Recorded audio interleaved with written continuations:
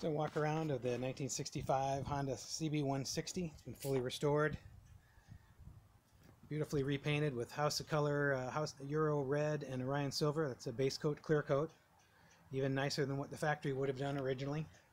Engine's uh, in great state of tune. It's been timed. It's got new plugs. All the tappet clearances were checked. The oil slinger's been cleaned out.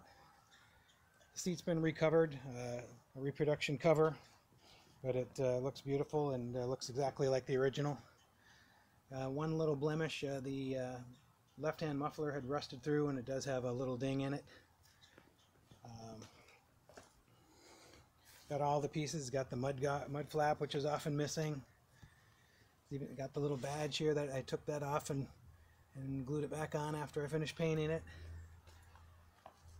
Got the correct grips, got the correct mirrors, got the correct plastic badges on the gas tank the correct kickstart rubber. That's a beautiful bike in great condition. Let's go ahead and fire it up and hear it run. Turn on the gas. Get a little choke. Hit the electric start. Doesn't need much choke. Turn on the lights.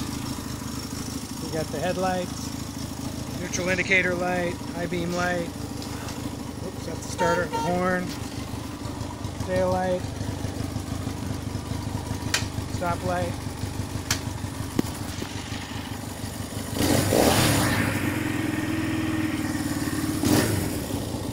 Turn the choke all the way off. He's already warmed up. There you have it. It's up for sale on eBay right now. Thanks for looking.